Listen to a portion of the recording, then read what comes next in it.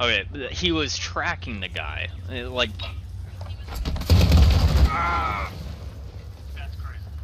he knew he was there too?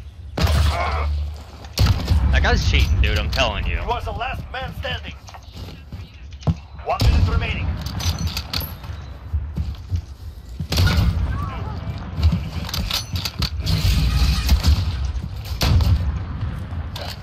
Maintain pressure. Next Why? Because I saw him? He was literally on my screen. That is not cheating. What he did is cheating.